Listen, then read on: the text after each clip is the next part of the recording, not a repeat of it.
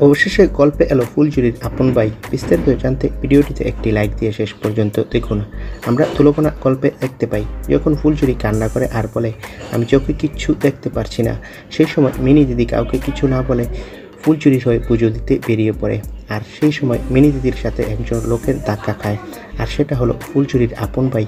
আর এবার ফুলচুরির আপন ভাইয়ের সাথে মিনি দিদির প্রেম হবে, আর তাকে ভালোবাসবে। কে কে এই চমকটি দেখতে চান কমেন্টে জানান, আর আমাদের গোল্ডেন প্রোডাকশন ভিডিও চ্যানেলটি সাবস্ক্রাইব করে আমাদের সাথেই থাকুন। সবাইকে ধন্যবাদ।